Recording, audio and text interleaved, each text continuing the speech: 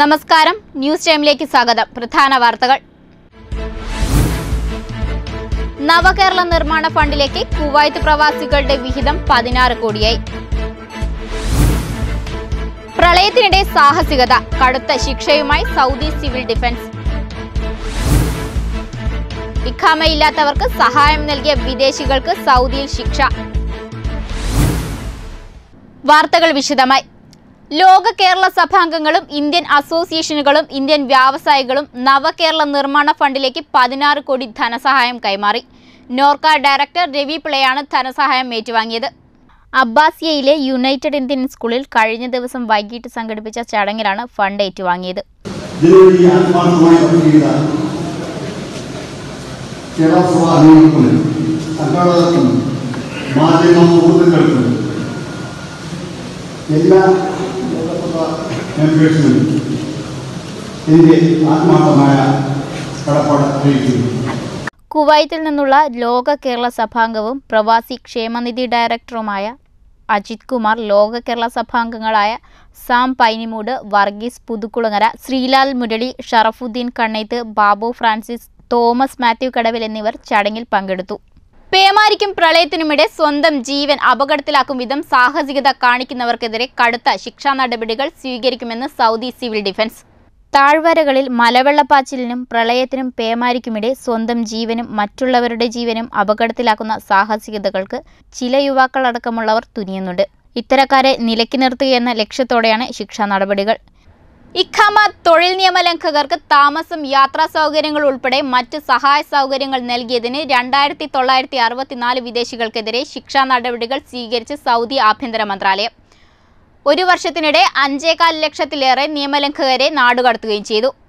അനധികൃതമായി രാജ്യത്ത് തങ്ങുന്നതിന് നിയമലംഘകർക്ക് ആവശ്യമായ സഹായ സൗകര്യങ്ങൾ ചെയ്തു കൊടുക്കുന്നവർക്ക് തടവും പിഴയും നാടുകടത്തലും ശിക്ഷയായി ലഭിക്കും.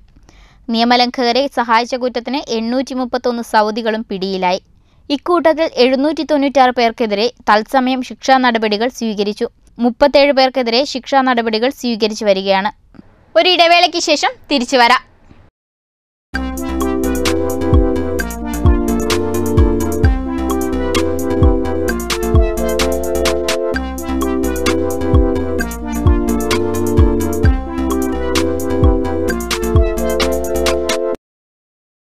വാർത്തകൾ തുടരുന്നു. രണ്ടാഴ്ചക്കിടെ ആഗോള വിപണിയിൽ എണ്ണവില വീണ്ടും ഇടിഞ്ഞു. ഇരുപത് ശതമാനത്തിന്റെ ഇടിവാണുണ്ടായത് കഴിഞ്ഞ മാസം മുതൽ അമേരിക്കയും റഷ്യയും ഉൽപാദനം കൂട്ടിയതോടെയാണ് എണ്ണവിലയിൽ ഇടിവ് തുടങ്ങിയത്. അടുത്തയാഴ്ച നടക്കുന്ന ഗൾഫ് രാഷ്ട്രങ്ങളുടെ യോഗത്തിൽ ഉൽപാദന നിയന്ത്രണത്തിനായി സൗദി അടക്കമുള്ള രാഷ്ട്രങ്ങൾ വാദിക്കും. രണ്ടായിരത്തി പതിനാലിന് ശേഷമുള്ള മികച്ച നിലയിലായിരുന്നു എണ്ണവില ഒപെക് നേതൃത്വത്തിൽ ഉൽപാദക രാഷ്ട്രങ്ങൾ ഉൽപാദന നിയന്ത്രണം വരുത്തിയതോടെയാണ് ഇത് സാധ്യമായത്. നേരത്തെ ചേർന്ന ഒപ്പയ്ക്ക് യോഗം ഡിസംബറിൽ ഉൽപാദന നിയന്ത്രണം തുടരുമെന്നാണ് സൂചന. ഇതിനു പുറമെ അടുത്തയാഴ്ച ചേരുന്ന ഗൾഫ് രാജ്യങ്ങളുടെ യോഗത്തിൽ എണ്ണ വിതരണം കുറയ്ക്കാനുള്ള ആലോചനയുമുണ്ട്. വിലയിടിയുന്ന സാഹചര്യത്തിൽ വില സ്ഥിരതയ്ക്ക് വിതരണ നിയന്ത്രണം അത്യാവശ്യമാണെന്ന നിലപാടിലാണ് സൗദി. മനാമയിൽ നിയമവിധേയരല്ലാതെ കഴിയുന്ന ഗാർഹിക തൊഴിലാളികൾക്ക് ഫ്ലെക്സി പെർമിറ്റ് വിസ അനുവദിക്കുന്നു. കഴിഞ്ഞ വർഷം ജൂലൈയിലാണ് ഫ്ലെക്സി വർക്ക് പെർമിറ്റ് ആരംഭിച്ചത്. ഇതിലാദ്യമായാണ് ഗാർഹിക തൊഴിലാളികൾ ഉൾപ്പെടുന്നത്. Labour market regulatory authority chief executive Osama Al അബിസിയാണ് ഇക്കാര്യം അറിയിച്ചതെന്ന് പ്രാദേശിക പത്രം റിപ്പോർട്ട് ചെയ്തു. നവംബർ ഒന്നിന് മുമ്പ് തൊഴിലുടമകളിൽ നിന്ന് ഒളിച്ചോടിയവർ മാത്രമേ വിസയ്ക്ക് അപേക്ഷിക്കാൻ അർഹതയുള്ളൂ. നിയമവിരുദ്ധമായ വിസ വ്യാപാരം തടയുകയും തൊഴിലാളികൾക്ക് മതിയായ സുരക്ഷയും അംഗീകാരത്തോടെയുള്ള തൊഴിലവകാശവും ലഭ്യമാക്കുകയുമാണ് ലക്ഷ്യം. ഒരു നിശ്ചിത സമയത്തേക്കാണ് ഈ അപേക്ഷയിൽ നടപടികൾ സ്വീകരിക്കുക. രണ്ട് വർഷത്തേക്കായിരിക്കും ഫ്ലെക്സി വിസ അനുവദിക്കുക. ഈ എണ്ണം വർദ്ധിച്ചുകൊണ്ടിരിക്കുകയാണ് L M R I Sitra ശാഖയിലാണ് ഇതിന്റെ സേവനം ലഭിക്കുന്നത്. മുപ്പത്തിയേഴാമത് ഷാർജ പുസ്തകോത്സവത്തിന് ഇന്ന് കൊടിയിറങ്ങും. ഇത്തവണത്തെ പുസ്തകമേളയും മലയാള സാന്നിധ്യം കൊണ്ട് സമ്പന്നമായിരുന്നു. മലയാളം സ്റ്റാളുകളിൽ നിന്നും വിറ്റുപോയത് പതിനായിരക്കണക്കിന് പുസ്തകങ്ങളാണ്. രാവിലെ ഒൻപത് മുതൽ രാത്രി പത്ത് വരെയാണ് സൗജന്യ പ്രവേശനം. അറബിക് ഇംഗ്ലീഷ് ഭാഷകൾ കഴിഞ്ഞാൽ മലയാളത്തിനാണ് മേളയിൽ പ്രാധാന്യം.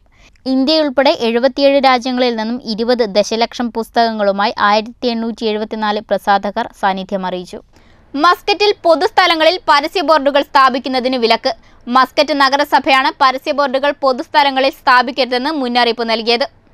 പരസ്യ ബോർഡുകൾ സ്ഥാപിക്കാൻ മസ്കറ്റ് നഗരസഭയുടെ മുൻകൂർ അനുമതി വാങ്ങണം. അനുമതിയില്ലാതെ പരസ്യങ്ങൾ സ്ഥാപിക്കുന്നവർക്കെതിരെ കർശന നടപടിയെടുക്കുമെന്നും അധികൃതർ അറിയിച്ചു. നഗരസഭയിൽ നിന്നും ലൈസൻസ് ലഭിക്കാതെ ഒരു തരത്തിലുള്ള പരസ്യവും വെക്കാനോ പ്രസിദ്ധീകരിക്കാനോ പാടുള്ളതല്ലെന്ന് ആർട്ടിക്കിൾ അഞ്ചും. പള്ളികൾ ആരാധനാ സ്ഥലങ്ങൾ പുരാവസ്തു കെട്ടിടങ്ങൾ ശവകുടീരങ്ങൾ ചുറ്റുമുള്ള മതിലുകൾ എന്നിവിടങ്ങളിൽ നേരിട്ട് പരസ്യം ചെയ്യരുതെന്ന് ഏഴാം നമ്പർ ആർട്ടിക്കിളും പറയുന്നു.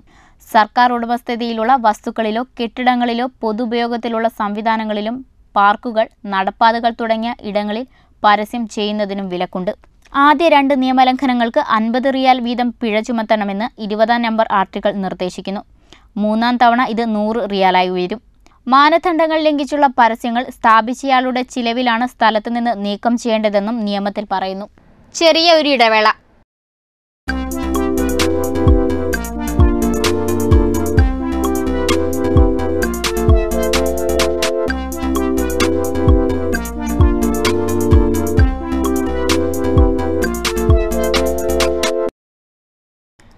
വാർത്തകൾ തുടരുന്നു. ഭിന്നശേഷിക്കാരെയും കുട്ടികളെയും ലൈംഗികമായി ഉപദ്രവിക്കുന്നവർക്ക് കൂടുതൽ ശിക്ഷാ നടപടികൾ നേരിടേണ്ടി വരുമെന്ന് സൗദി പബ്ലിക് പ്രോസിക്യൂഷൻ. കുറ്റക്കാർക്ക് അഞ്ച് വർഷം വരെ തടവും മൂന്ന് ലക്ഷം റിയാൽ പിഴയും ശിക്ഷയെ ലഭിക്കും. കിഴക്കൻ പ്രവിശ്യയിലെ ദമാമിൽ ഫർണിച്ചർ ടെക്സ്റ്റൈൽസ് ഇറക്കുമതി കയറ്റുമതി മേഖലയിൽ ബിനാമി സ്ഥാപനം നടത്തിയ സിറിയക്കാരൻ സിയാദ് അലി ബിൻ അലി ഇതിന് കൂട്ടുനിന്ന സൗദി പൗരൻ Ahmed bin Yusuf bin Ahmed Al Dosari എന്നിവർക്കാണ് ശിക്ഷ. സ്ഥാപനം അടപ്പിക്കുന്നതിനും ലൈസൻസും കൊമേഴ്സ്യൽ രജിസ്ട്രേഷനും റദ്ദാക്കുന്നതിനും വിധിയുണ്ട്. ഇതേ മേഖലയിൽ പുതിയ സ്ഥാപനങ്ങൾ ആരംഭിക്കുന്നതിൽ നിന്നും സൗദി പൗരന് വിലക്കേർപ്പെടുത്തി. സൗദിയിലെ ഇലക്ട്രിക്കൽസ് ഇലക്ട്രോണിക് മേഖലയിലെ സ്വദേശിവൽക്കരണം പൂർത്തിയായി. പന്ത്രണ്ട് മേഖലയിൽ പ്രഖ്യാപിച്ച സ്വദേശിവൽക്കരണത്തിന്റെ രണ്ടാം ഘട്ടമാണ് പൂർത്തിയായത്. ഇലക്ട്രിക്കൽ ഇലക്ട്രോണിക് ഉപകരണങ്ങൾ വാച്ചി കണ്ണട വിൽപ്പന മേഖലയിലാണ് സ്വദേശിവൽക്കരണം പ്രാബല്യത്തിലായത്. ഇവ വിൽക്കുന്ന കടകളിൽ ഇനി മുതൽ എഴുപത് ശതമാനം സ്വദേശികളായിരിക്കണം. വൻ കച്ചവടം നടക്കുന്ന മേഖലയാണ് ഇലക്ട്രോണിക്സ് മേഖല.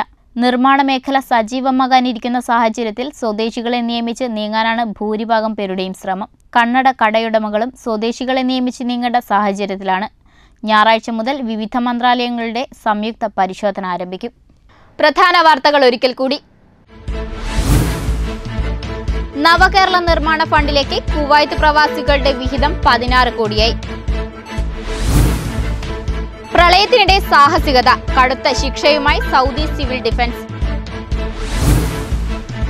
ഇഖാമയില്ലാത്തവർക്ക് സഹായം നൽകിയ വിദേശികൾക്ക് സൗദിയിൽ ശിക്ഷ. ഇതോടെ ഇന്നത്തെ പ്രവാസി വിഷൻ വാർത്തകൾ അവസാനിക്കുന്നു. കൂടുതൽ വാർത്തകൾക്കും വിശേഷങ്ങൾക്കുമായി കാണുക സബ്സ്ക്രൈബ് ചെയ്യുക. W W W dot Pravasi Vision dot com സംപ്രേഷണ യോഗ്യമായ വാർത്തകൾ നിങ്ങൾക്കും ഞങ്ങളുമായി പങ്കുവയ്ക്കാം. പങ്കുവയ്ക്കേണ്ട വിലാസം news at Pravasi Vision dot com കൂടുതൽ വാർത്തകൾക്കും വിശേഷങ്ങൾക്കുമായി ഞങ്ങളുടെ പ്രവാസി വിഷൻ ആപ്പ് ഡൗൺലോഡ് ചെയ്യൂ. പ്രവാസി വിഷൻ ആപ്പ് ഇപ്പോൾ ഗൂഗിൾ പ്ലേ സ്റ്റോറിലും ഐ ആപ്പ് സ്റ്റോറിലും ലഭ്യമാണ്. നമസ്കാരം.